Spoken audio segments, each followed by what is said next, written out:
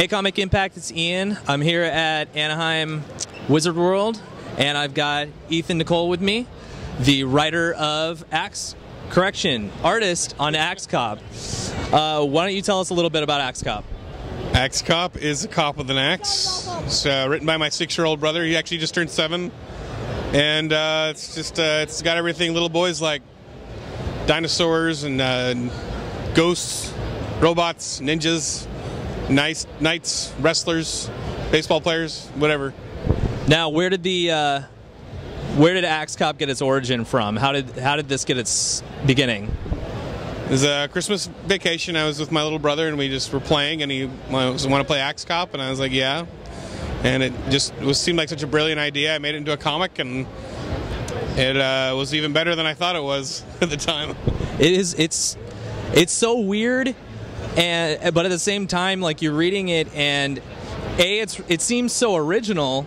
It's but also you can uh, as a reader you really can feel how this is coming from a kid's mind Yeah.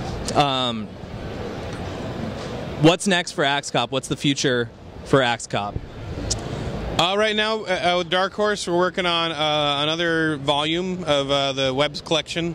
So once we get enough stuff backed up online, we'll do another uh, another volume of that, and we're going to do another mini series too. And also, the Bad Guy Earth trade will be coming out uh, in October, I think.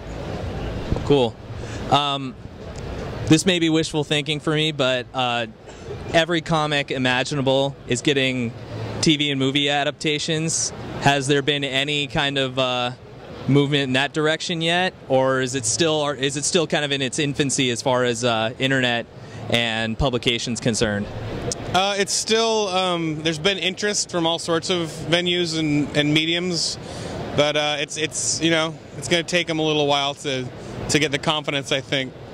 Um, but yeah, nothing official. But uh, there's been lots of interest. I think it'd be I think it'd be an amazing movie, personally. I would love it. That would be amazing.